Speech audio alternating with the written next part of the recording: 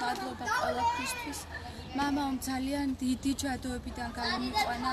ძალიან ცუდად ვიყავი, ორსულად ვიყავი. მოვდიოდი საავადმყოფოდან. მაშინ არც ვიცნობდი, რომ ჩვენი უტკბილესი მამა ნიკოლოზი იყო.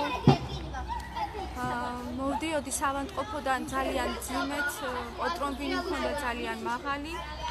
მამაო შემხვდა ვაგზალზე, ხალხთან ერთად მოდიოდა, შემომხედა და განაგზო გზა. მე მაშინ არ ვისმობდი, რომ ეს მამა ნიკოლოზი იყო. მე მამა نيكოლოზმა სიცოცხლე მაჩუქა და მამა نيكოლოზით დგავარ დღემდე ფეხზე.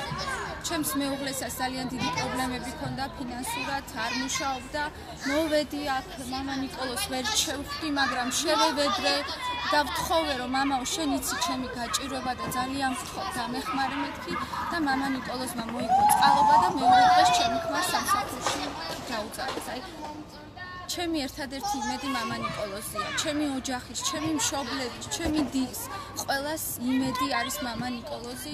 მადლობა მამა نيكოლოზ, როგორც კი ვთხოვთ ყველა გაჭირვების დროს, მამა نيكოლოზი სულ ჩვენთან არის და ყველაფერთან გვიხსნის. მე თუ ცოცხალი ვარ, ხალხო, ყველას გეუბნებით, ეს არის მამა نيكოლოზის წყალობა და ყველას გთხოვთ ბონს მოეგოთ და მამა نيكოლოსთან მოხვიდეთ და ითხოვოთ შენდობა და წყალობა. მადლობა ყურადღებისთვის. 네, 안에 출입해.